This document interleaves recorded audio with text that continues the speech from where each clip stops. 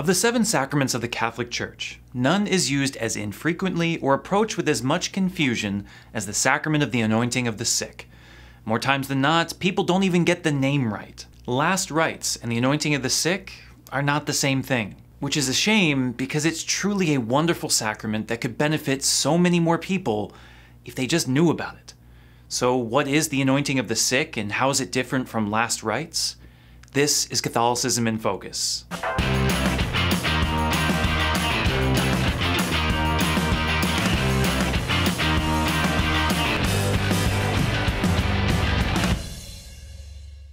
Of all the many miracles that Jesus performed, turning water into wine, feeding 5,000, walking on water, the most frequent aspect of his ministry was healing the sick. By one count, Jesus performed 37 miracles in the Gospels, 24 of them related to healing. After his ascension, the apostles continued this ministry. Acts 3 recounts the details of Peter healing a crippled beggar, and Acts 5 shows that this was not an uncommon practice. In the early church, the sick were brought to the apostles for healing. The sense that Christ could heal people through his appointed ministers was so accepted among the faithful, in fact, that St. James even commands it in his letter. He writes, Is anyone among you sick?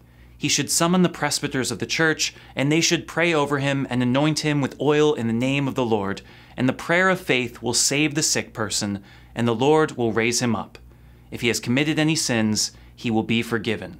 And so, for 2,000 years, the church has done just that encouraging the sick to call upon the priests of the church to pray over them and anoint them. Now, if you were to ask the average Catholic why we do this, the majority of them would undoubtedly say that it is a preparation for death, the last thing that one does as forgiveness of sins before dying. And given that for many years it was called extreme unction, literally final anointing, I think that's fairly understandable. But the church doesn't use that term anymore, at least not officially.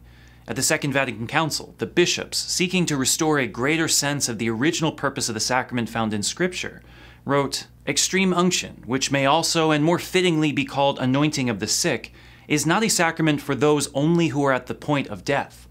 Hence, as soon as any of the faithful begins to be in danger of death from sickness or old age, the fitting time for him to receive this sacrament has certainly already arrived. In referring to the sacrament as the anointing of the sick, rather than extreme unction, the Church restored a more comprehensive understanding of God's desire to heal us, opening the door to more frequent use and greater appreciation of the sacrament. Today, the Church continues to teach that the anointing of the sick serves as a preparation for the final journey, but it also teaches that the sacrament bestows three other indispensable gifts. It connects the sick with the communion of saints, contributing to the sanctification of the Church unites the sick through redemptive suffering to the passion of Christ, and most important of all, bestows the grace of the Holy Spirit, one of strengthening, peace, and courage to overcome the difficulties of sickness and old age.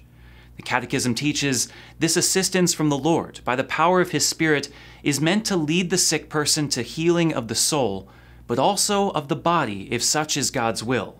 If you are sick, especially if you are facing serious danger, these are the sort of gifts that you would want. Shortly after the council, the rites were updated to reflect this mindset. Three variations were developed for celebrating in different situations, and the prayers themselves became more expansive, focusing not only on one's passage into eternal life, but on physical and spiritual healing. There are prayers, of course, for a dying person, but also for those preparing for surgery, for children, for people in advanced age, and general prayers for facing affliction. Lord Jesus Christ, our Redeemer, by the grace of your Holy Spirit, cure the weakness of your servant, heal his sickness and forgive his sins, expel all afflictions of mind and body, mercifully restore him to full health, and enable him to resume his former duties, for you are Lord forever and ever. What's notable about this prayer and those like it is that there is not a single mention of death or passing. Its focus is not on preparing the sick person for new life in heaven, but on healing them in this one. A prayer one would expect that would be far more comforting prior to surgery than one preparing for heaven. While dying and entering heaven is always a possibility, it is not necessarily always the hope of our prayer. What's also notable is that the rites themselves are highly participatory, including time for the sick person to offer an act of contrition, inviting them to respond to prayers, receive nourishment from word and instruction, and even receive communion. The fullest expression of the rite clearly assumes that the sick person is conscious and in good enough health to eat and drink, which is not a problem for those preparing for surgery or having received a serious but not immediately fatal diagnosis, but can definitely pose a problem for those who truly are preparing to pass from this life to the next. While the sacrament can certainly be conferred on an unconscious person close to death, waiting until the moment right before someone dies is not ideal. Besides the fact that a priest may not be available at the exact moment and the person might die before being anointed, doing so limits the amount of the rite that can actually be celebrated and deprives the sick of the grace needed to deal with suffering while still alive. If the sacrament gives all that it does, why would you wait until the person is already unconscious and close to death to receive it? For some, there is still an ingrained sense that the sacrament is meant to be the last thing someone does, a sign of passing, and so put it off because they don't want to accept that the end is near. Others think that it can't be received more than once, and so you should wait until you're sure they're about to die. Unfortunately, neither of these things are true. If the sick person receives the sacrament and then recovers, or ends up living substantially longer than expected, that is a good thing. It means that they were able to benefit from God's grace for far longer, and in the end, the sacrament can be celebrated again if necessary. The sacrament may be repeated if the sick person recovers after being anointed and then again falls ill, or if during the same illness the person's condition becomes more serious.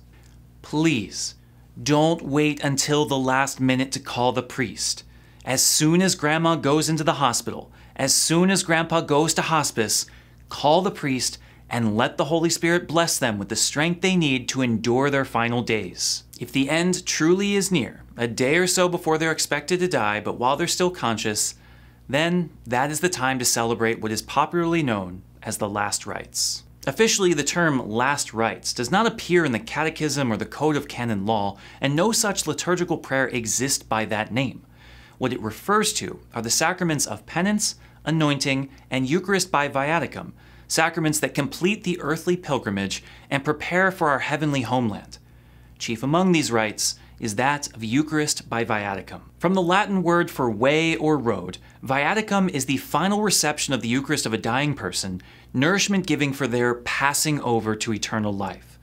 The rite can be celebrated within or outside of Mass with a couple of unique features. Instead of the profession of faith, the sick person is given an opportunity to renew their baptismal promises through the baptismal profession at the end of earthly life, the one who is dying uses the language of his or her initial commitment, which is renewed each Easter and on other occasions in the Christian life. In the context of viaticum, it is a renewal and fulfillment of initiation into the Christian mysteries, baptism leading to the Eucharist. Although not required, the sign of peace can be given special attention, not simply as a preparation for Eucharist, but as a final farewell the minister and all who are present embrace the dying Christian. In this and in other parts of the celebration, the sense of leave taking need not be concealed or denied, but the joy of Christian hope, which is the comfort and strength of the one near death, should also be evident. At the time to present communion to the sick, the priest may say the ordinary, This is the Lamb of God of the communion rite, but two other options are given. Jesus Christ is food for our journey, he calls us to the heavenly table, or these are God's holy gifts to his holy people, receive them with thanksgiving. And finally, once the dying Christian receives their final Eucharist, preferably under both species, the priest responds, May the Lord Jesus Christ protect you and lead you to eternal life, emphasizing the final nature of this Eucharistic meal. Assuming that the other two sacraments were already celebrated days before when the person became gravely ill, this final rite completes a threefold sacramental unity mirroring how baptism, confirmation, and Eucharist initiate one into earthly Christian life, penance, anointing, and Eucharist initiate the sick into heavenly life. But you know what they say about assumptions. Because people are prone to call the priest at the very last moment, or because a sudden illness or accident has prevented the dying from celebrating the fullness of these sacraments separately, this is not always possible, and so the Church offers a combined rite of all three sacraments to be used in exceptional circumstances. Although far less than ideal than experiencing the fullness of each sacrament separately, it's obvious to see how celebrating these sacraments, even if abbreviated, would be the absolute best way to end one's life. Which is why I'll say it again. Please, do not wait until grandma is unconscious or unable to consume food to call the priest. It is so much more beneficial for the sick to take part in these rites. Don't wait until the last second and miss this opportunity. As much as Christ wants to prepare us for passage from this life to the next, and we should certainly take that seriously, we know from Scripture that Christ also wants to heal us physically, emotionally, spiritually. To reduce this sacrament to a final rite of dying, to limit its reception to one's deathbed, misses out on many opportunities for the suffering faithful to encounter Christ. If you take one thing from this video, remember that the sacraments are for the living. They are meant to strengthen us, give us hope, and bring us closer to God so that we can continue to live faithful lives. As soon as someone finds themselves in need, they should be given the spiritual help Christ offers. Even if you are not close to dying, especially if you are not, call a priest and ask to be anointed. Is a gift that we too often fail to see or outright deny.